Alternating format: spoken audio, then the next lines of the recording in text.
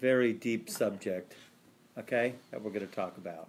Okay, you guys are like all nervous and anticipating. Okay, it's deep. It's deep because, you know, my heart, you know, of all of the holy masters and on the holy teachers, the Baal Shem Tov has already always had a very deep place in my heart.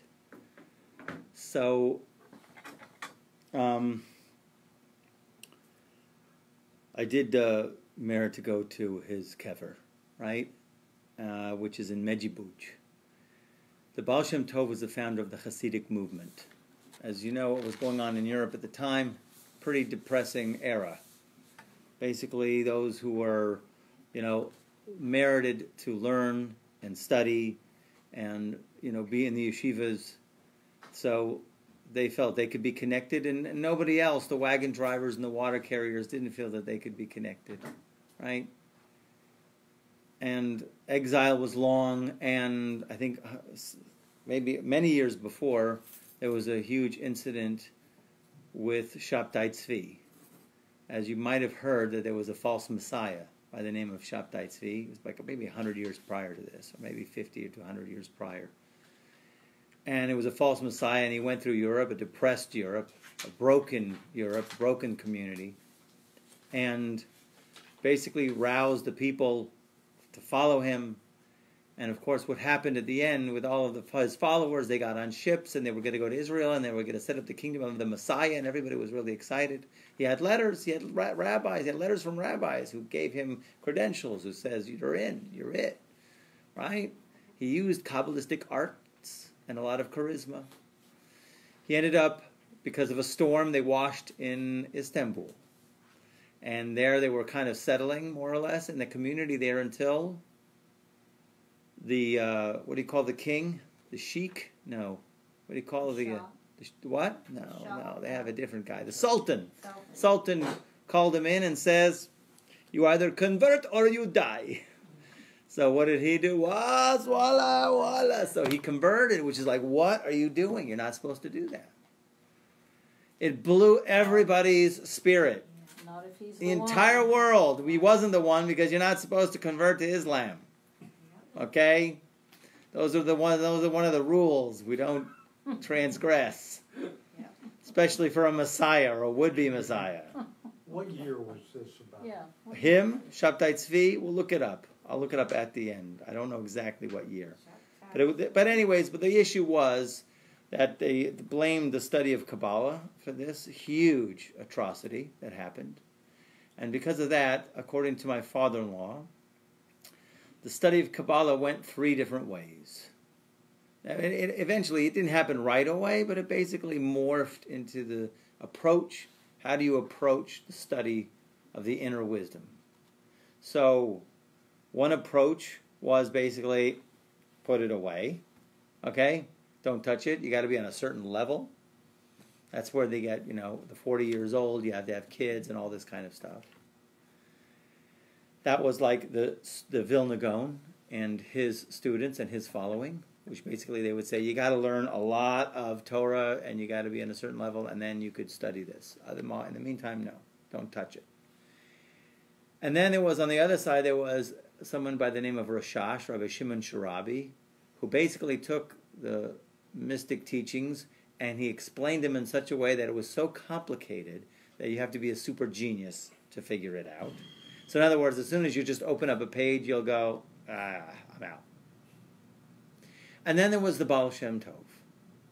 The Baal Shem Tov came and basically took the mystical teachings, in the, the most deepest mystical teachings, and he brought them down in a way that a person can actually taste a relationship with God, a deep relationship with God. He can actually feel a connection. He brought the Torah, which was always there and the principles were all there, he just revealed it in a way that enabled the wood chopper and the water carrier, right, to have a connection to God.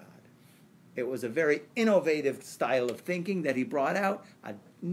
It, they, they, they'll call it the new way to, you know, to practice Judaism, but it really wasn't new, okay? Wasn't new at all. He just revealed it in a way where it was tangible, where deep things were tangible, and okay, that's good. So, of course, he was, as we know, he lived from 1698 to 1760. Okay, so the 1700s, that's when he lived. Okay? So in the beginning, though, of course, he was what we call a nister, a nister, which means a hidden tzaddikim. I might have gone over this with you before, that we have in tradition that there are 36 hidden righteous that are in every generation. Right? God looked into all of the expanse of his creation, and he says, well, there are not many righteous people. In, in the entire 6,000 years, he went, wow, we better spread them out. Right? Don't don't right? Don't don't spend it in one place. So basically it is in tradition that actually there's 36 hidden righteous in every generation. Actually the the Tikkun Zohar brings down there's 36 in the land of Israel and there's 36 abroad outside the land of Israel, which makes a total of 72. Okay? But they're hidden. You don't know who they are. You're not supposed to know who they are. And if you think you know who they are and you try to get close to them, they'll make sure to derail you into absolutely being assured this is not one of them. So okay? do they know that they are one of them? Ah, good question. And I don't know, but I do know that the head of them does know. In other words, the head of the 36, he knows. Okay? Because there's a true story So with who- it. How do you know who the head of 36? I don't know. You don't know. But the guy who is the head, he knows. Okay? The boss is somewhere. Well, here God is the boss. But then he has his 36 hidden righteous. And um, listen, there's, there's many stories to tell, and we'll tell them. Okay? But I, I, I happen to know it because there's a true story they tell about the Schwarzewolf. Do you know the story about the Schwarzewolf? Uh, I couldn't even say that. The black wolf, the black Schwarze Wolf, wolf. okay, about 150 years ago, there was a couple who didn't have any children, very heartbreaking. Lived for many years married and no children, and he decided he was going to go travel to his Rebbe in another city and say, Rebbe, you got to give me a bra. And he traveled to that city and he went and he waited and he saw his Rebbe and his Rebbe takes him around the arms and he looks up at the sky and he cries, his Rebbe, and he says, the gates are closed. There's no way. There's no way. I can't do anything in order to get facilitate a bracha for you to have children. And the guy goes, No way, Rebbe. There's got to be a way. It, it, I can't go on like this. Me and my wife, we can't. There's got to be a way. He says, Well, if you if you go to the head, we call him Lamed Vav because Lamed Vav means 36. If you go to the head of the 36 on Shabbos and you get a bracha from him, you can probably do it. And the guy goes, Well, tell me who it is. Who is it? He says, You might know him. He lives in your town. Hmm. Who? Who? Schwarzewolf. Schwarzewolf! That guy, he's so obnoxious and disgusting. Everybody moves away from him. Nobody greets him on Shabbos. Every time he comes around, everybody moves away. That guy? Yeah. Head of the head, head of the 36. Okay? If you can get to him on Shabbos, then you'll get a bracha. Okay? Okay, so the guy plans. He gets, you know, he says to his wife, This is the plan. I'm going to knock on his door. He lives like outskirts of the city in the forest, right? I'm going to knock on his door two minutes before Shabbos. I'm stuck. I can't get back. Can I stay here for Shabbos? That's how, right? Okay, he goes there, knocks on the door. It's two minutes before Shabbos. The wife answers, right? And she's screaming obscenities at him. You disgusting maggot, get up, back out of my house, right? She wants to slam the door in his face. He puts his foot in the door, right? He sees the kids behind, right? And they're all so obnoxious and throwing things around. But he's not freaked out because there's a big rule. And the big rule is when you see a flaw, specifically in a rabbi, really, if you see a flaw in anybody else, really it's your flaw. Okay? But it definitely in a holy rabbi, when you see the flaws, it's really the flaws inside of you. And then you have to fix them inside of you, and then you won't see them anymore in that way. So he understood because his Rebbe told him this is the head of the Lamed Vav. So you're walking into this thing, and you're going to be, you know, it's going to be like a tossy turvy sea. You know, you don't know, but it's all you. Okay? So the wife says, Go into the barn and wait for my husband to come home. So he goes into the barn and he waits there for the husband to come home. And he hears the footsteps of the Schwarzwolf who is praying in the forest. He comes in right just before Shabbos. He goes into, he hears him going to his house, little conversation with the wife, blah, blah, blah, blah. and all of a sudden he comes out from the house and he comes to the barn and the door slams open and he sees the silhouette, this massive guy, big guy, the Schwarzwolf, big guy, and he says, "You're here for Shabbos. As soon as Shabbos is out, you you take off, and if you step foot in my house, I'll kill you on the spot." And he walks back into his house. The guy's like, "Okay." Prays the entire Shabbos. He prays, he prays, he prays the entire Shabbos. Hashem, please let me not leave without this blessing the entire night. He could barely sleep. Thank God he brought some wine and some some challahs to sustain him because they they he's with the horses. Okay. Mm-hmm. Shabbos is about to go down. The sun is about to set. He realizes he has to leave as soon as Shabbos goes out, and he's praying. He breaks down. He's on his knees as the sun is going down, and finally he feels this very subtle tap on his shoulder, and he turns around, and it's the Schwarzwolf but he doesn't look the same. He looks like Mamish, the high priest on Yom Kippur. He's just shining with a radiance. And he says, My dear, darling friend, my holy brother, I know why you've come. I want to invite you to my house for had to have the holy third meal on Shabbos. And he goes in, and of course, the wife is exquisitely beautiful, and the little kids are like little high priests, and it's an unbelievable ambiance. And he sits down with the holy, the holy uh, uh, Schwarzwolf, and he says, "I'm going to give you a blessing that you should have a child on the condition that you'll name him the name, same name as mine. And he doesn't think much of it. Sephardim, maybe, uh, you know, they carry the same names. He doesn't think much, you know, because usually Ashkenaz don't have a name of a person, right? Anyways, for sure, he got the bracha. Goes home, he's so excited. Tells his wife, I got the bracha. And what happened is the next morning he goes, he's going to shul, and there's a big commotion in shul. There's a guy, that the, the gabbai is trying to get people around, and everybody's screaming at the gabbai. And he goes, what's, what's going on? He says, someone died last night, Schwarzwolf. And the guy bangs on the, on the bima in the synagogue, and he says, this guy was the head, the head of the 36. And you guys wouldn't even say hello to him. Okay? You'd go to the other side of the street, you would avoid him. And he was the head. He could have gotten any blessing that you would have needed. Okay? He would have helped you with anything. And what happened is, okay, he got a minyan together, they buried him. A year later, he has a kid, names him Schwarzwolf. The story's not over. How do, I, how do we know this is true? Because the Belzer Rebbe, 1948, had a tish in Tel Aviv. A tish means literally table, mm-hmm. right? Hasidic, right? And the way that they do it, the Hasidic Rebbe's do it is, you know, people will come to him individually at, at a certain point, and he says, asks them their name, and he says a little l'chaim, you know, and at one point in time, they're escorting, two men are holding this very old man, and he asks the old man, what's your name? And the old man says, Schwarzwolf. He says, maybe, are you a grandson or great grandson of the original Schwarzwolf, Schwarzwolf that was head of the, the Lamed Vav, the 36? And the old man goes, Rebbe, you know the story. He says, yes. I know the story, but I'm not going to tell it. You're going to tell it. They put the old man on the table. He had quiet. All the Hasidim stood, stood around as the old man told the tale of the Schwarzwolf and why his name is Schwarzwolf. And then Rabbi Shlomo Carlebach, who tells the story way better than I did, okay? Unbelievable.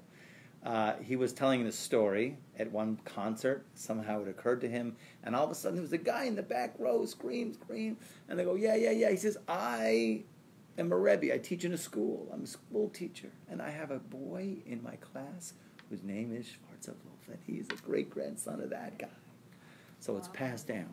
So from there, I answer your question. I don't know about every one of the 36, but I do know that I think the head one pretty much has an idea.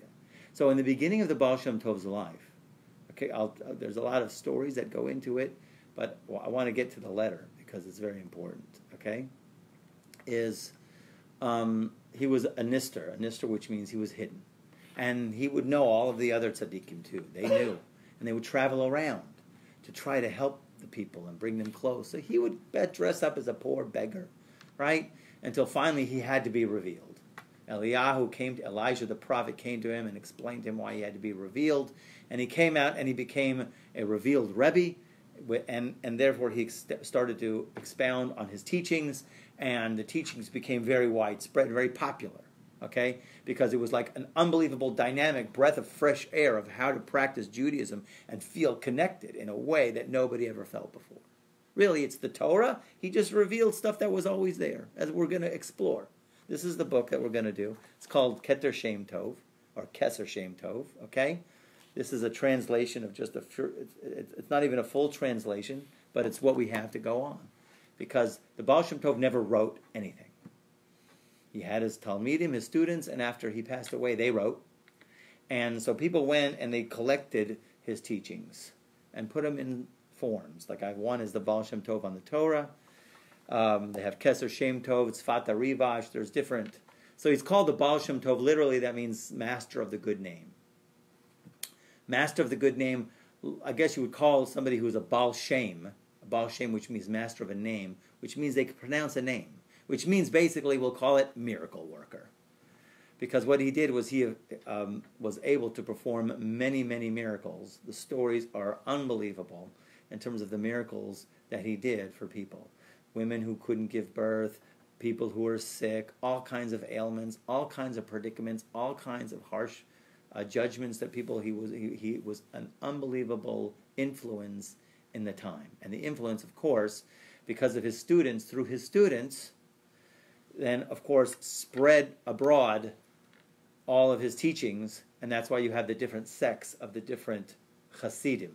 You might be familiar with Breslov Hasidim, Lubavitch Hasidim, there's Bobov, there's Satmar, all kinds, depending upon where in Europe that they were. Okay?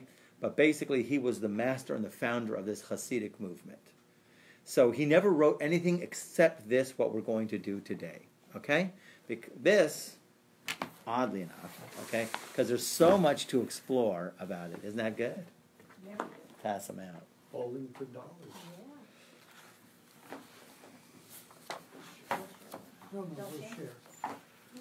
So, several books were put together to collect his teachings. Some of them, and I'm going to be honest with you, I do not understand them all. Okay? But we do have to. So his real name was Rabbi Yisrael ben Rabbi Eliezer. Okay, Rabbi Yisroel, that was his real name, Yisroel. And he was the son of a man by the name of Rabbi Eliezer. Rabbi Eliezer and his, and his wife. How did they merit to have such a child? So they were basically very, very big in welcoming guests. As a matter of fact, he would go out of his way and welcome in guests and bring them in and treat them unbelievably high, like kings and queens, and when he would escort them, he would give them food and money on their way out to make sure that they had all their needs. Whatever it is, he put all his energy into welcoming guests, and it made a huge ruckus. Do you know what a ruckus is? In Shamayim, in heaven, a, a big tumult, big tumult in heaven about his this mitzvah that he did of welcoming guests. And basically, the ruckus that was made in heaven was they were saying somebody's got to test him because he's worthy of bringing down a very holy soul through his good deed. He has aroused that there should be some kind of holy soul coming into this world. But we have to test him first. So the Satan says, I'll go. But Eliyahu says, let me go. So Eliyahu Hanavi, Elijah the prophet, he agrees to go to the test. And how is it done? Few versions of the story. Basically, it's after Shabbos, right? After services Everybody's going to go to their houses and have Shabbat. And he comes into town with a backpack, leather jacket, maybe some earrings, maybe smoking a cigarette. I don't think so. But, anyways, uh, okay. But he comes in as obviously some roughneck guy looking for a place for Shabbos. After Shabbos, he's carrying. We don't do this kind of stuff. Everybody's like, you know, you understand they're coming from a very religious neighborhood, and this stuff just, you don't do that. It's like you don't you know, whatever. So certain things you just don't do. Except Rabbi Eliezer says, "Come, come to my house," and he has him sit at the table, and he and, and of course the guy is uh, pretty obnoxious. The entire food, you know. What do you think about them? you know, whatever, you know. His mannerisms a little bit coarse, right? Maybe a lot coarse. We don't really know what goes on, but I'm sure we can fabricate certain things about him being uh, testing patients. Anyways, the guy was totally cool. The whole Shabbos, him and his wife, with open, with a with a willing and, and, and joyous heart, served their guest and other guests as well. And finally, at the end of Shabbos, he's escorting him outside of town. And of course, then at that point in time, Elijah turns to him and says, "You know, I'm not who you think I am." Right? And he reveals that he's Elijah the prophet, and he gives him a blessing that he will have a, a child that will alter the way that Judaism is practiced. And of course, he gave birth to the Baal Shem Tov. So without any further ado, let's look at this letter. Okay? This is the only thing that he actually did right. Everything else was from his students. And like I say, this is very close to my heart for many reasons. Okay? I learned this with my father in law, and I don't know, there's just some kind of connection that I feel that everybody at a certain point in time falls in love with a Rebbe. And and everybody usually falls in love with their, like the, the Lubavitcher Hasidim fall in love with their Rebbe, right? The, the Breslov fall in love with their Rebbe. My Rebbe is the Baal Shem Tov, okay? The founder of the Hasidic movement. And I've gone through his stories. I read his story. I read through several books of his stories with all my kids when they were to put them to sleep. That was my bedtime story. So the stories blew me away. So here he writes, uh, here, here's how he goes. To my beloved brother in law, my friend who is dear to me as my own heart and soul, the exalted rabbi and chassid, renowned for his Torah scholarship and fear of heaven, our master, Rabbi Avram Gershon, may his light shine. Peace unto him and his family, his modest wife Bluma, together with all their children. May they be blessed with life. Amen. That's how he introduces the letter. Actually, he sent the letter, but the letter never got there, because if the letter got there, we wouldn't have it. Somehow the letter, the letter never got there. That's why we have the letter. Okay? So he says, I received the letter written by your holy hand. Rabbi Gershon, Rabbeinu Gershon was his brother in law. Okay?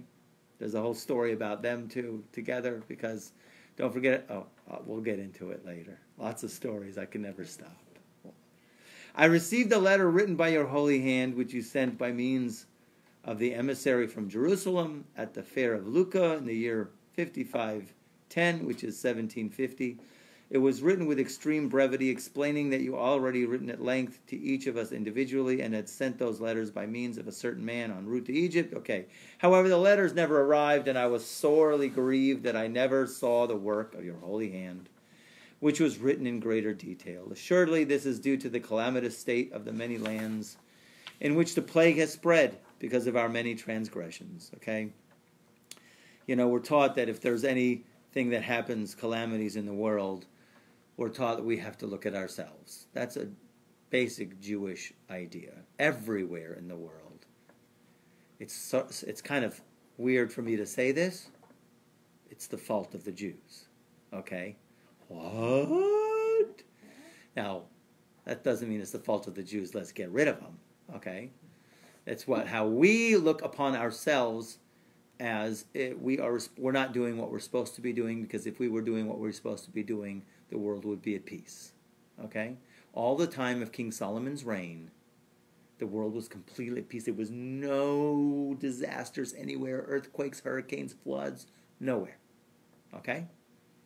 It was like a golden era. In the not only in Israel, but in the entire world. Okay?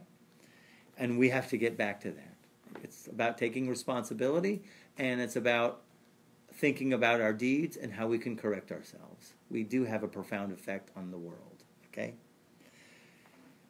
So that's why he says the plague is spread because of our many transgressions. Okay? Not far from our region, the pestilence has reached the holy community of Mohilev, as well as Wallachia and Turkey. Okay? That's not like Waxahachie, right? It's better than Waxahachie. Okay?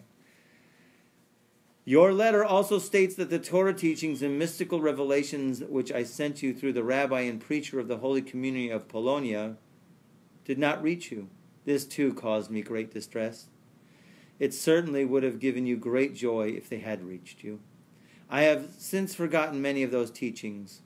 However, the few details I still remember, I will write to you in brief. So here's what we have of those letters.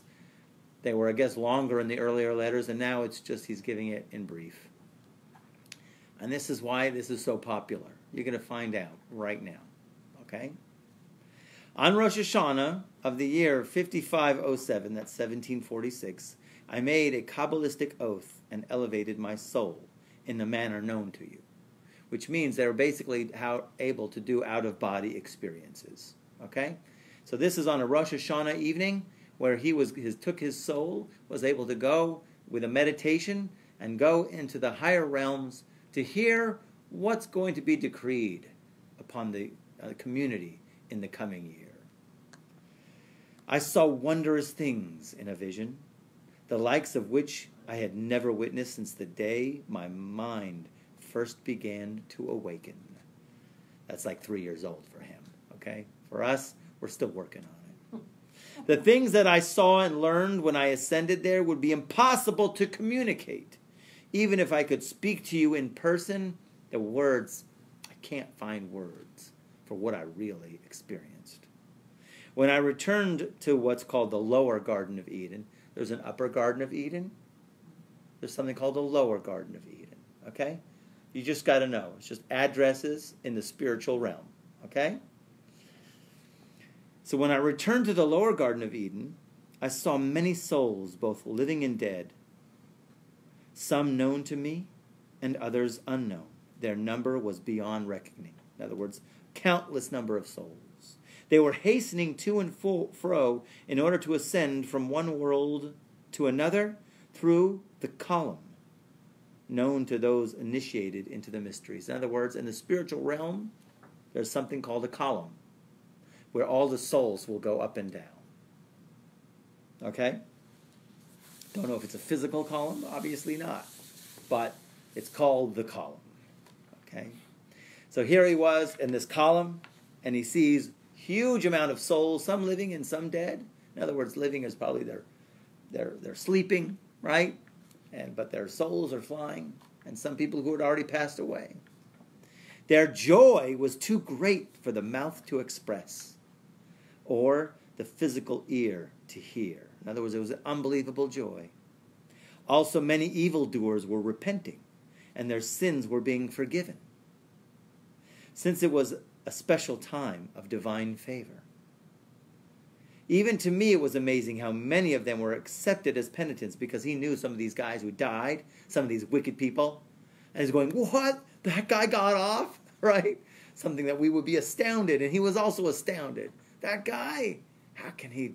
What? Okay. There was great joy among them too, and they ascended in the same manner. Together they begged and implored me unceasingly. Because of the glory of your Torah, God has granted you an additional measure of understanding to grasp and know these matters. Ascend with us. That's what they were saying. Ascend with us so that you can be our help and support. So all these souls, they noticed the Baal Shem Tov hanging out there, and they're going, "Come up, Rebbe, Rebbe, come up, come up with us."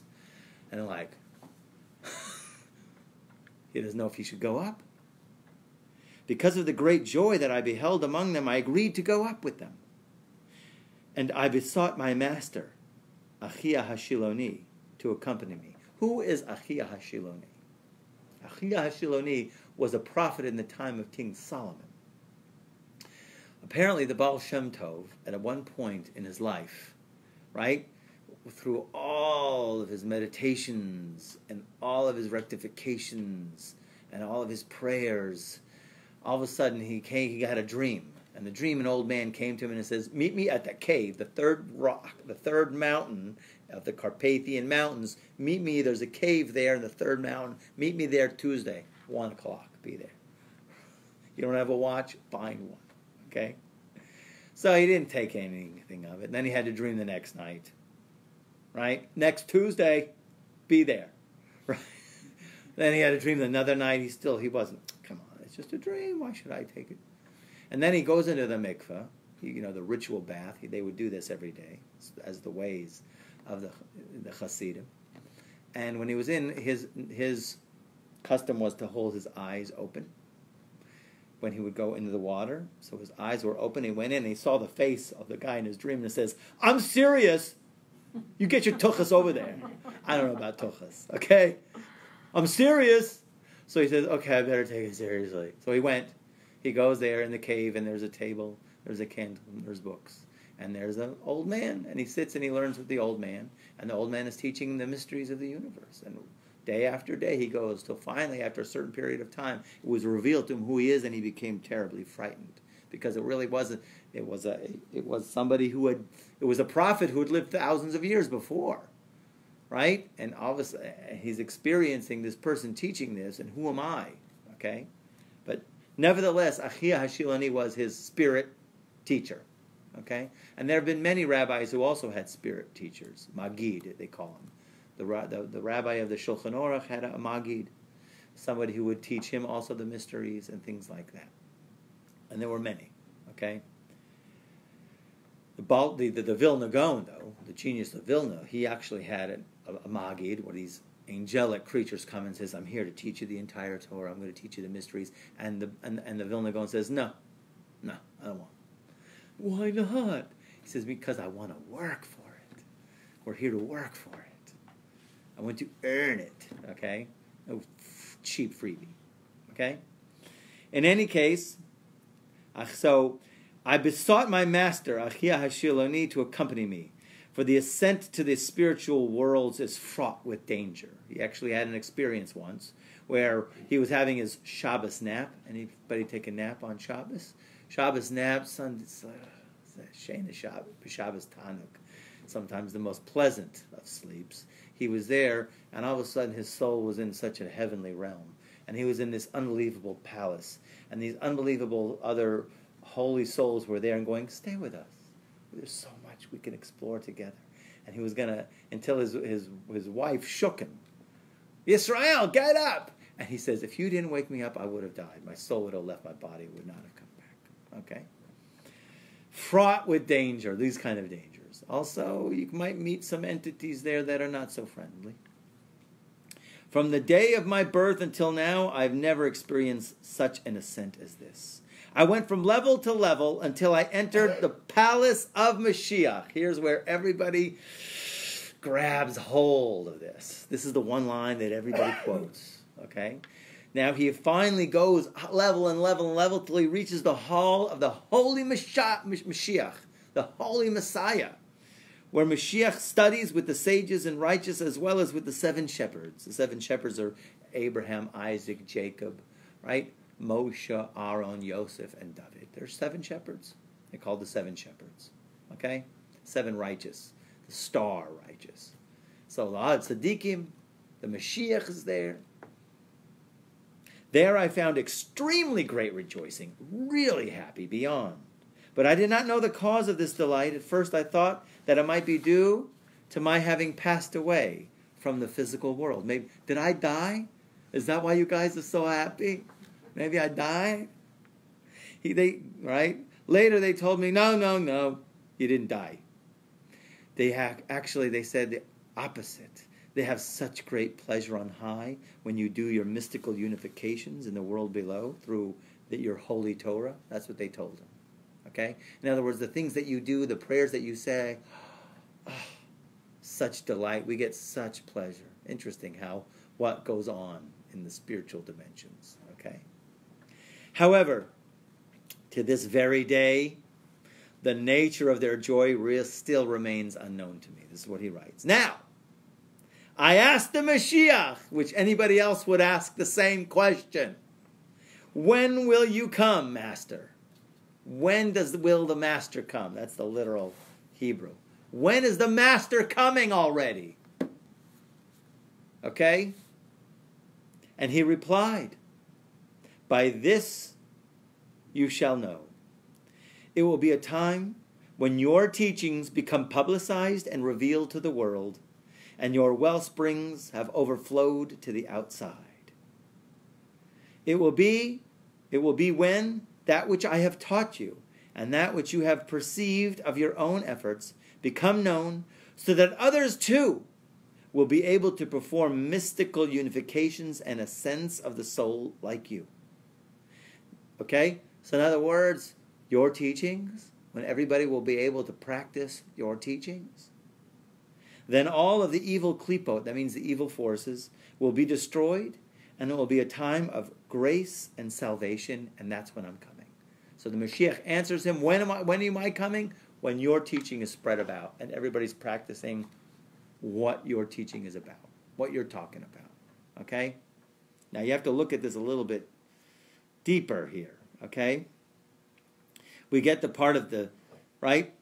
We get the part of when your teachings become revealed to the world, the well, springs have overflowed to the outside. The interesting thing, the question that I had is it will be that which I have taught you. In other words, what I've already taught you, which is an interesting idea when you think about it. Wait a minute. Did we meet before? How could it be something that you already taught me? Right? And then it goes on to say, what you perceived of your own efforts, okay? Anything that you have made novel, so that others too will be able to form mystical unifications and a sense of the soul like you. In other words, a mystical unification is like a meditation. Now, an ascent of the soul is like an out of body experience, I would think. Okay? A soul ascent. In other words, when everybody's going to be able to practice the soul ascents like you, that's what it, that's when I'm coming. Right? Now think about that. What's occurring in your mind right now? So this is what he says I was amazed at this and greatly troubled, since a long time has passed for this to be possible. When's it going to happen? As my father in law, Zechusa Elena, would say, when's that truck driver going to go ahead and do an out of body experience? Right? Right? When's that going to happen? Yeah, right. Okay? But while I was there, I learned three segulot, and three holy names that are easy to learn and explain. Now, what is a segula? Have you ever heard of the word segula before? That's a melody. no. That's a nigun. Oh, a segula is basically a, a practice, an act that can perpetuate a certain manifestation. Okay? They do it a lot. For example, the main classic example was a segula to get married, let's say, is to hold, at a wedding, to hold the chuppah pole. Hold one of the poles of the, of the chuppah. It was, is a segula, it's an act that can perpetuate you to be next, to, or not, or to get married. Okay? That's called a segula. There's so many. There's I have a whole book of segulas. Okay? Right? Segula for a lost object. That's the classic one. I should share that with you. You probably yeah. lose your car yes. keys. Right, I'll give you that one. My mother-in-law, she's amazing with it. She really, she's like spot on. So okay, it's scary. It's scary. We lost our car keys. We were in the car my, with my father-in-law. We're in the car. We're ready to go. Where are the car keys? I thought you put them. I put them on the I put them on the counter. Where are the car? Where are the car keys? We sent my mother-in-law in the house right? Two story house, five bedrooms, San Antonio. She comes out with the car keys, right? She does Amar Rebbe Binyamin, right? Says Ayin Vakodesh Israel. In other words, Rebbe Bin, there's a it's called the Amar Rebbe Binyamin. Rebbe Benjamin says everything is in a status quo of being blind to the eyes. In other words, the eyes can't see it, but God opens the eyes, right, of Israel. And then you start, to, and then you give a little coin, to Rebbe Meir Baal HaNes, old tzedakah, right? Say a few other things, and then you start looking. So this is what she did. She went in the house, came out, I'm telling you, like three minutes later with the keys. Where were they? In the dryer. Upstairs was a dryer inside the dryer. Okay? Now, my father in law just turns to me so nonchalantly. I'll never forget his face, how he looks to me and he goes, I'm married to a witch. I would never think of looking in the dryer. But, you know, there are many, many, many, many segulas. Okay? It's bizarre. Okay? the idea here is a segula is like an act that can perpetuate, like you know, a, a, a certain manifestation. Okay, like a segula for. Um, there's a segula on Shabbat. It's a great one. I'm just not going to go over every one of them. I'm just coming whatever occurs to my head. I'm telling you, there are thousands of them. That uh, that when after you break bread and you, and you and you and you distribute the bread to everybody, there's always crumbs on the breadboard. So there's a segula for to get rich is to go like this and gather them and eat the breadcrumbs. Segula to be wealthy for wealth. I know you're going to do it this Friday. Okay. Pass that money. Give me that breadcrumbs. Okay. So. okay. So uh, they also have. It's also there's some that are explicit, explicit in the halacha. Some are explicit in the halacha that. Um, breadcrumbs on the floor, you better you have to watch out and not step on because that brings poverty. There's negative segulot as well. Okay, and, and it, but it, that it bleeds into real halacha. Those really actually have their effect in there. Anyway, so he's pretty. So first, he's really troubled. He's like, "When is it going to happen? Where the guy, where the guy, the, the mailman, the milkman, and the guy, and, the, and and and the truck driver is going to be able to just do out of body experiences." and do these kind of meditations when the Mashiach's going to come. It sounds like I don't know when the Mashiach's going to come because when is that going to happen? So he says they revealed to me three segulot, these three actions, and three holy names that are easy to learn and to explain. My mind was then set at ease, and I thought that with these teachings, the people of my own generation might attain the same spiritual level and state as myself. So he feels great. Awesome. It could be done. It can be done. They would be able to elevate their souls and learn and perceive just as I do. However, I was not granted permission to reveal this during my lifetime. I pleaded for your sake, because he's telling he's, he's writing this to his brother-in-law. I pleaded for your sake to be allowed to teach you, but I was denied permission altogether and took an oath to that effect. I'm not allowed to tell. It's like, then what'd you tell me for if I can't say it? Yeah. The, uh, to cut to the chase, he hid it in the letter. Okay, it's hidden in the letter. Not that I have it and I can tell you, but it is hidden in the letter. I know one. God revealed to me one. God revealed to me one thing. Okay, not I, I'm not saying it's it. I'm not saying it's it at all. Okay, but you know I I'm writing a book that our thoughts create angels, and I and I speak about in this book that there's one angel that can overcome all of the negative angels that we've been creating our entire life. And the name of that angel is Easy. Easy. Easy. Easy. Why? Because if you are approaching anything in your life and you say hard, can't, or impossible, you are creating a reality. You are creating an experience of hard or impossible. So therefore, if you keep saying that and keep thinking that because it's estimated you think around 60,000 thoughts a day, so therefore that's 60,000 angel. And if you keep saying can't, so you virtually really built a wall. So the only thing that can get you through such a predicament is to say easy. Now, that doesn't mean the solution to your problem is right there. It is. There is. You just can't see it. Okay? But if you keep saying hard, difficult, or whatever, so then you are blocking the answer or the solution to your problem. But if you say easy, because for God, everything is easy, it's us who get in the way. Okay? For God, it's all easy. So if you say easy, right? So then you are allowing yourself to be open to the possibilities of the solutions to manifest themselves. Okay? And he says it in those words. He says those three names, right? The three names are, actually, this is what he says, okay? Behaim benakel ilmod ulafaresh. Because he says that if you look at the exact words, the shlosha devarim segulot, v'shlosha shemot hakadoshim, and the three holy names, vehaim, and they are but nakel lilmod ulafaresh. Easy to learn and to teach. So I look at the word easy, and that's where I had the idea. That if you say easy, at least you're opening up a channel. Okay?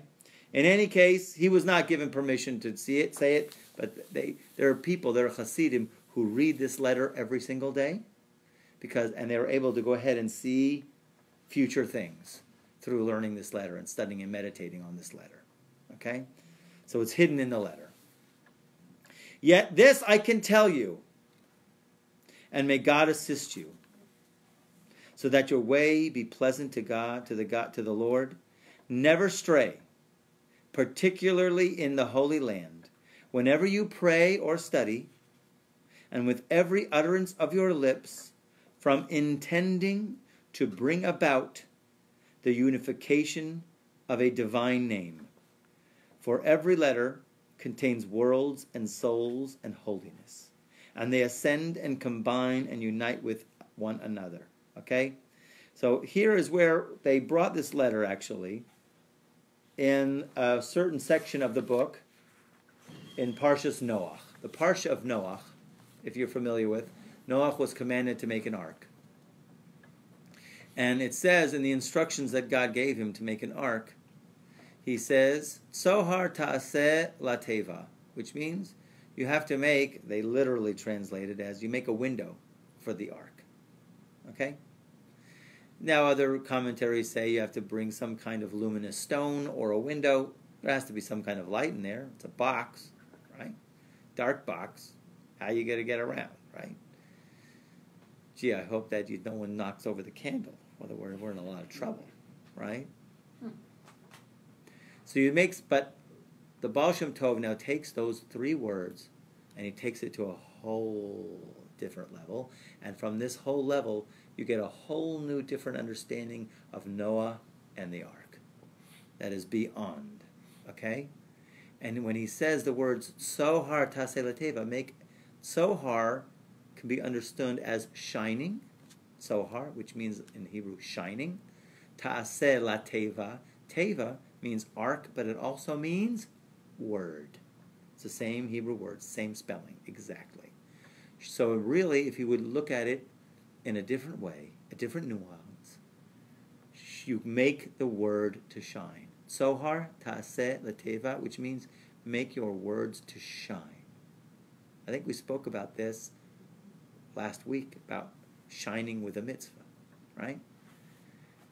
This we're talking about when you make an utterance, when you pray, or even just meditate, and you make a letter, and you join it with another letter, and another letter, and another, to try to use that as a meditative technique to picture in your mind's eye the letters shining. There's a lot of background. I'm just giving you like a real gist of it the tip of the iceberg about a meditative technique that's been handed down for generations. Okay?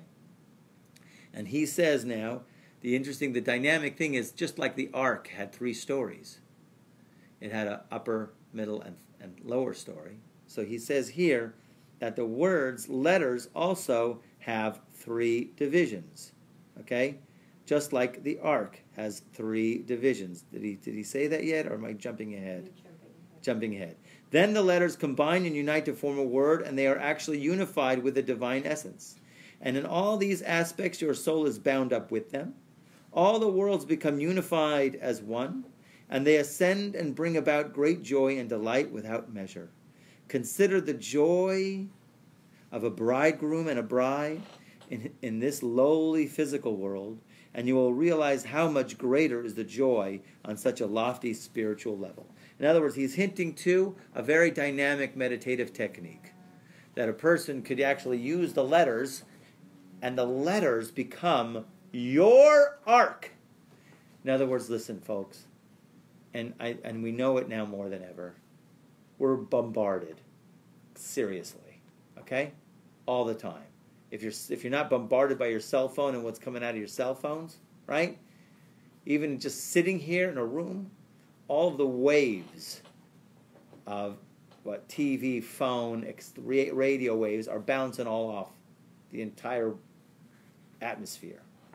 These waves don't think they don't affect you. and then affect your mind. Okay?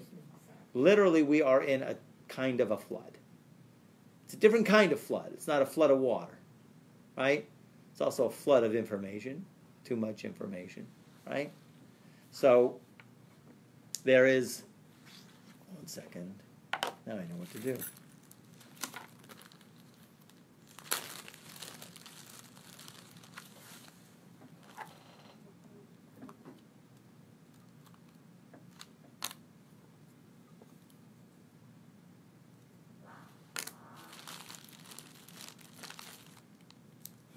This one.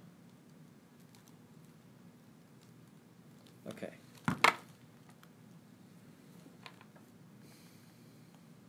So we're living